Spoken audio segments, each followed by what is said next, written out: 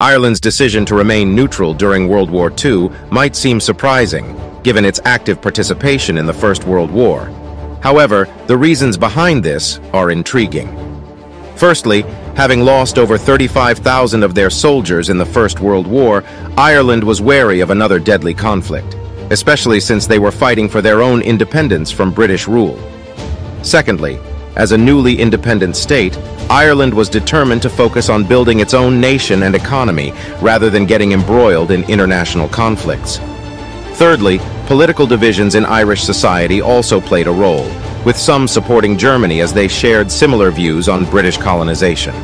Ultimately, Ireland's neutrality during the Second World War can be understood as a wise decision to safeguard their hard-won independence and focus on their own development.